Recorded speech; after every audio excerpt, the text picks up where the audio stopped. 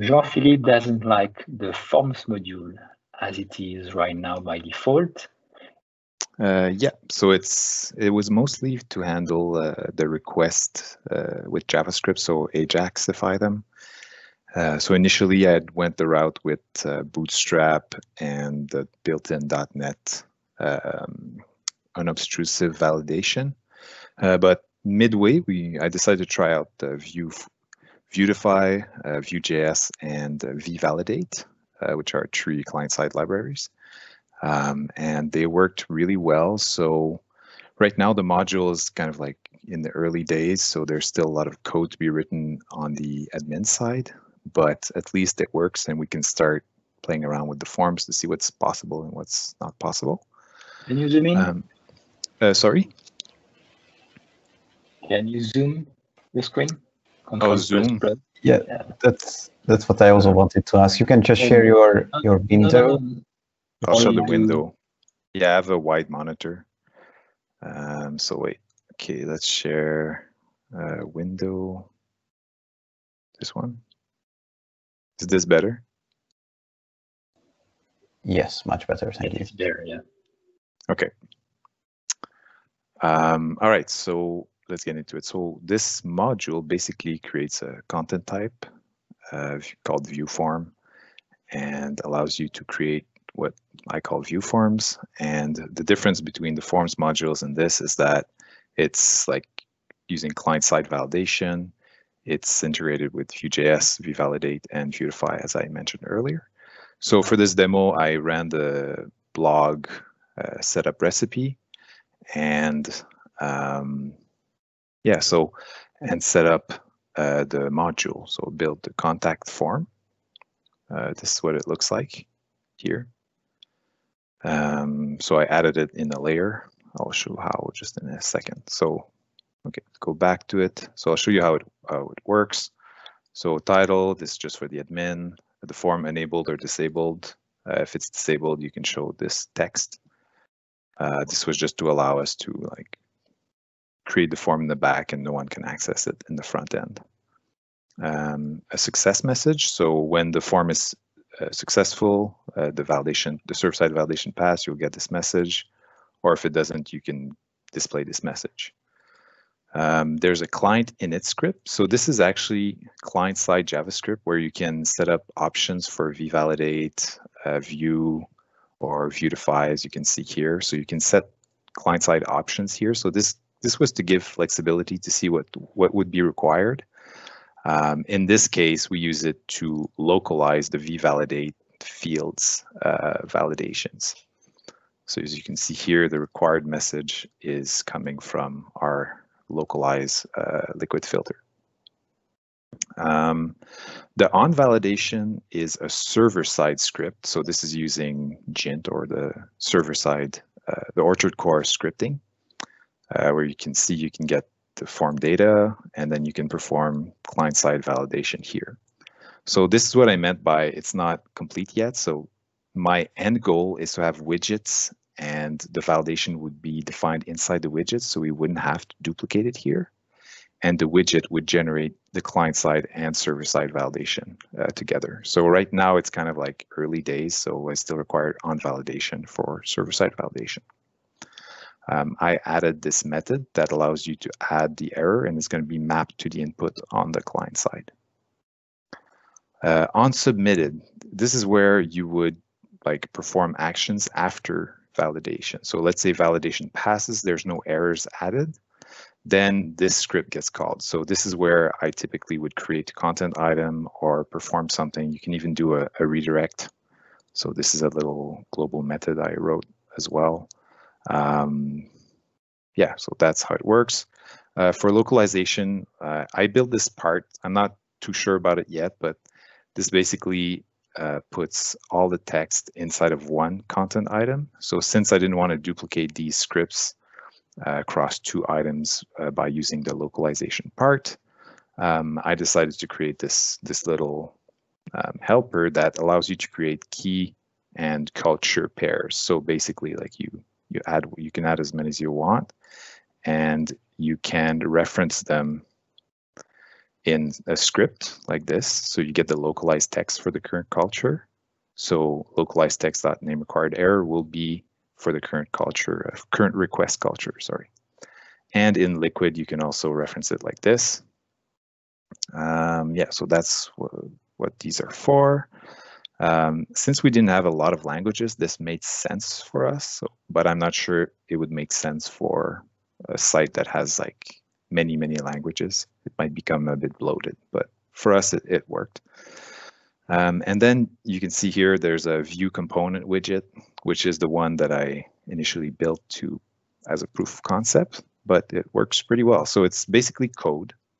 Um, so you're writing your, it's a Vue.js component. So you have a template and you also have a script. So the script is a typical Vue.js component script. For this case, uh, I just needed the data, uh, but you can have computed fields, etc. Um, this, the template is here, and as you can see, we're using the vValidation validation provider. And this is how you specify it. Like uh, you map the errors here with the, the Vue slots. Uh, the rules here, um, I removed it actually. Initially, it was required, and this was like email as well. But I removed it just to show the server-side validation. Um, this has liquid support. So it's kind of weird because Vue.js uses uh, double squigglies for um, a mustache syntax, I guess, uh, for templated strings. And we we use liquid server side to uh, uh, display the labels. So when you want to actually display the Vue.js, you, you need to use the raw uh, block. So this like will this will be client side um, success message and client-side error message. Um, we have a bit of documentation as well, so you can see this is actually injected by the top-level Vue app component, if you will, and it, it resolves to these two. So we have documentation as to what's available. Uh, another one is form handle submit is available, and there's also, you can write something like disabled equals uh, form submitting. So this will be set to true when the form is currently submitting and set to false if there's a successor error handled in the Ajax call. Um, we also, so I'll just publish this guy, and we also have a workflow integration. So uh, as you can see here, I was testing earlier. So I created an event. It's uh, it's when the form is submitted and you can select which form. So you can have one workflow for many forms. So if you had multiple forms, they would show up here and you can check them off. And this allows you to, for example, send an email or do more advanced stuff. Uh, what I found though is that in most cases, or some of the cases where I didn't want to have a workflow, the script was enough uh, for like a lot of case uh, use cases that I have. So I was okay with just using this to create a content item. And uh, yeah, so uh, this form, I displayed it in the uh, widgets right here. So I added a, a widget. This widget has a content picker that allows us to pick that form and is displayed always. So if you go to the home page of the blog, you'll see at the bottom that your form is here. So if you try to send, you see the client side validation is triggered. So I'll leave, I'll just put something invalid here. So John, and then this is a message. And I'm going to send it to the server side. And this is the server side validation. And as you can see, uh, this message is coming from um, is coming from the definitions that we had in the form here up here. Please correct the errors above, and it's displayed like this. Okay, uh, so I'm gonna, I'm just gonna fix it, uh, GP, whatever, and send it. Okay, so your contact request was successfully received. Um, so if you remember here, we're creating a content item. So I'm just gonna go double check that it's actually created. So you can see contact request is there. There we go. So the contact request is there. And we were also sending an email. Uh, so I'm gonna go just check to see if it got put into my email. So it's right here. Uh, whoops, I'm just gonna open this with Notepad just to show. So the email, the message is there. That all works. Uh, you can also make a redirect like this. So you could technically do an HTTP redirect here, or you can also do it in the submitted uh, as I shown earlier. Um, I think that's it. So if I just send this again, yeah, see now the redirect happened from the workflow.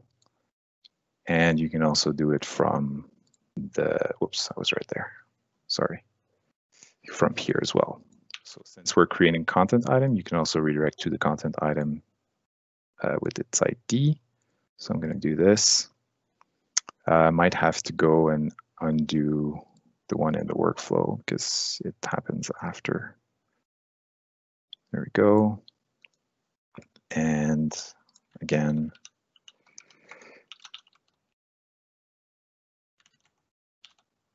okay. There you go. So it, this is displaying the content item. Um, yeah, so like I mentioned before, uh, right now it's it's a bit verbose as to what you have to write in here, but my goal is to use this and kind of like get a feel for how we use it and what's required as uh, what what requirements do, are we getting back from our users, and then we will like make widgets out of the fields, for example, and automatically uh, map the validation like this, uh, like the validations here and the, your error message on the client side, etc. Um, yeah, that, that's my first thought. Why isn't it a set of custom widgets for yeah. the current forms module? For the current forms module, it, it's all about the um, client side validation and server side validation.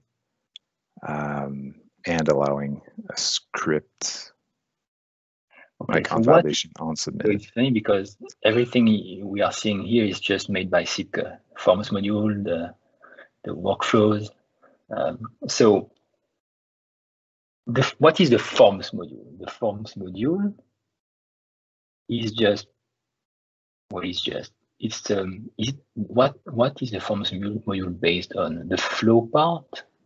Uh, yeah. With with the with the form content type. So today we have a form content type and other kinds of uh, widgets, form widgets mm -hmm. that work with the current form content type. But what if you just have a and, and but you're not doing the same thing here. You have a Vue forms.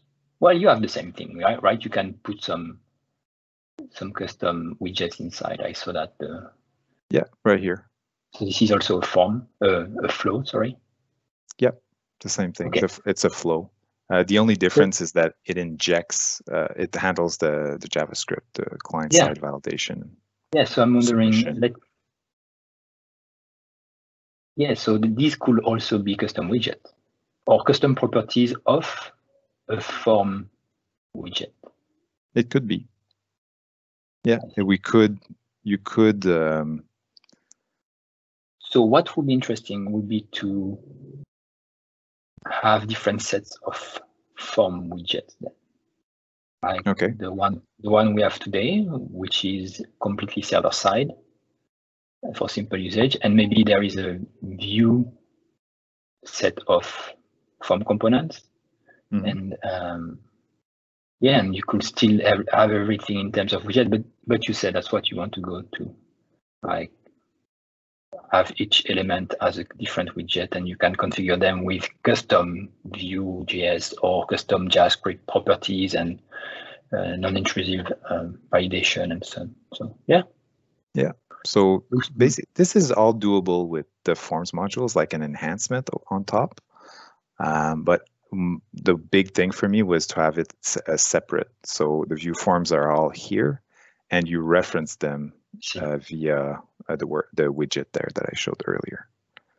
Uh, because there was a lot of cases where we wanted to have multiple uh, display the same form in multiple places, um, and that was a bit harder with the the built-in one since it was a widget, and with localization as well. When you had the localization part, you had a duplicate of the forms, whereas this is just one. So yeah, I don't know. think There was component could handle that this way also. You don't have to use the full localization for that once we have the dynamic, because what you are implementing is um, the beginning of the dynamic localization that we have designed and Hisham already started to work on. Yeah. Like this Okay, cool. That's cool. Yeah, yeah, Cool. yeah, this part should be the dynamic localization thing. Okay, thanks.